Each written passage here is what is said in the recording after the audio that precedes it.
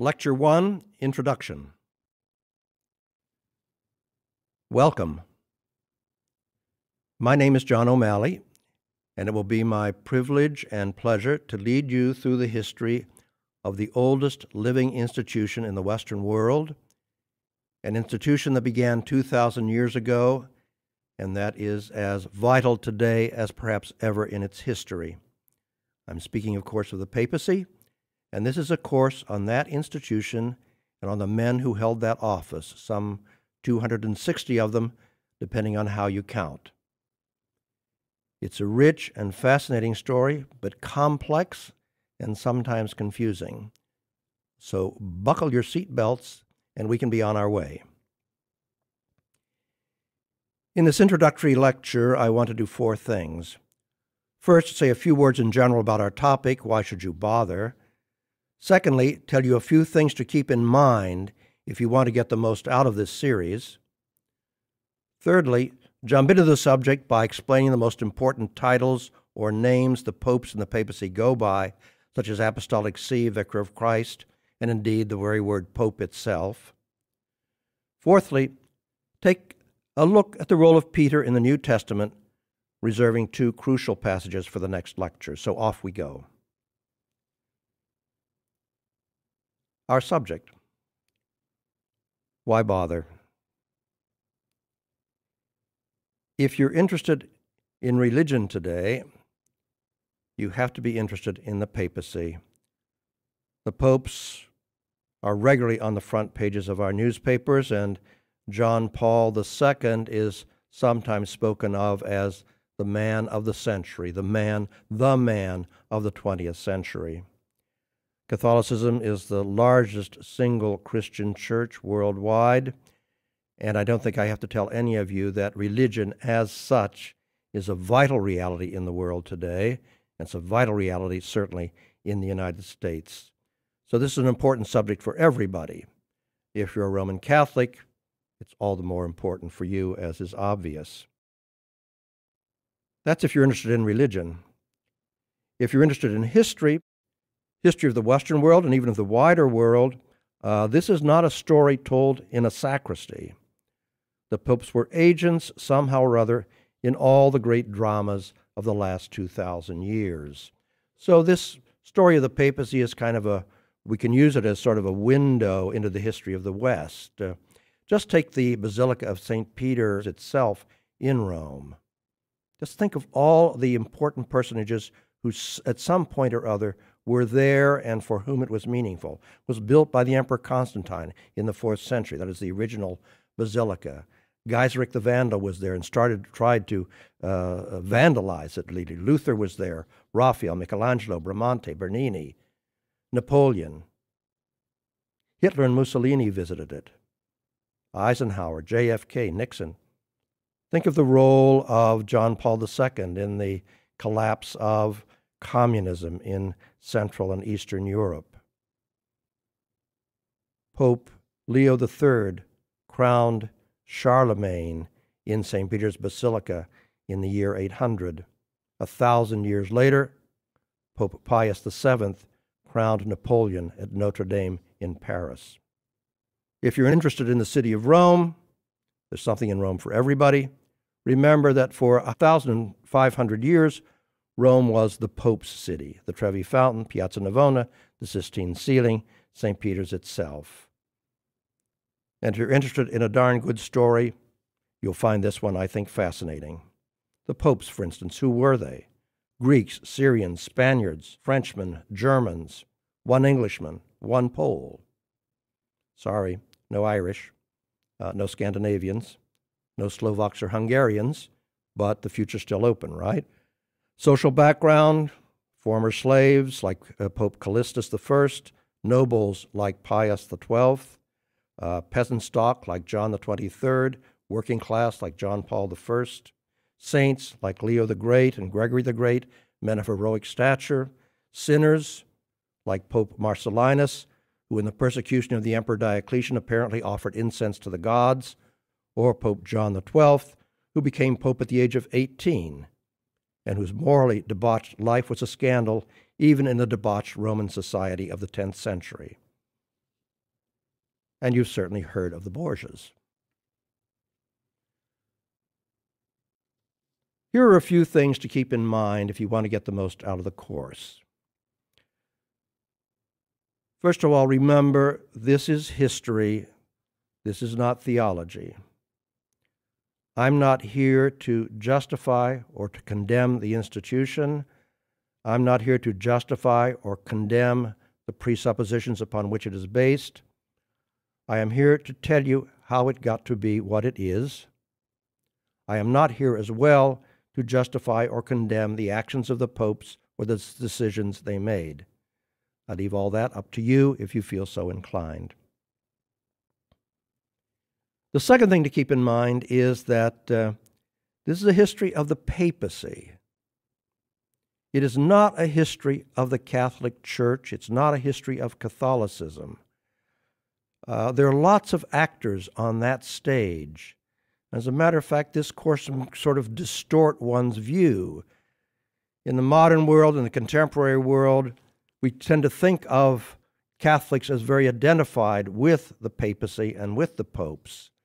But uh, in the 13th century, for instance, I'd venture that maybe 2% of the population knew that there was such an institution or that it had anything very significant to do with their religion. St. Thomas Aquinas wrote his Summa Theologiae in the 13th century. It's three huge volumes when translated into English. The papacy is mentioned only in passing in that book. So we get a little distorted image if we think that identify this course with a history of the Catholic Church. It is not that at all. It's a history of one aspect, one segment, an extremely important one, but it's not the whole reality. In that regard, it's also important for you not to be shocked. Uh, this is not always a pretty story. Yes, there were saints, but there are also sinners, or just most of them just ordinary people like you and me, faced with big decisions, and their weaknesses tended to show because of the high responsibility that they bore. So please keep that in mind as we go through the course and along that line. Remember that the story gets very complicated because of the wealth of the Roman Church and its prestige. From the very beginning, devout Christians in and around Rome gave money to St. Peter. That is to say, they gave money to the Church of Rome. And they gave this in terms often of real estate. So that from the very earliest centuries, this was a wealthy see. Sometimes the popes did not have access to that wealth, but nonetheless it was there. This laid the basis for the formation of the papal states later, so that the Pope became actually a temporal monarch. This made the institution often attractive to the wrong people for the wrong reason. And that's a great complication in the story of the history of this institution, as I know will become clear as we proceed through this series. The course, I'm afraid, can seem uh, something like uh, a course in crisis, just one crisis after another. After all, we're moving here with the speed of light through 2,000 years of history, and perforce have to deal with crisis points. I just want to remind you that we're skipping over a lot of the serene periods when it was simply business as usual. So the popes were not always faced with a crisis situation. Moreover, you need to try to get rid of some of the presuppositions which I assume many of you have about what popes do and how they behave. Today, how do we look upon the papacy? What do popes do? The popes appoint bishops. They did not always do that. The popes write encyclicals. That's a modern development. The popes speak to huge crowds. That's a very modern development. How do the popes look upon their job in earlier ages? Well, some of their tasks simply to guard the tombs of Peter and Paul and of the martyrs in Rome, make sure that the great basilicas in Rome had dignified services, provide for orphans and widows and the needy in Rome, protect the city of Rome from foreign enemies, and rule the papal state. to be king and to be the maker of kings. So there's a change and a gradual development in how popes have understood their authority. In the earlier centuries, they acted like older brothers, warning, advising, occasionally ordering. They were treated with special respect. Their approval was wanted. And this approval was especially wanted in the Western world with Western bishops.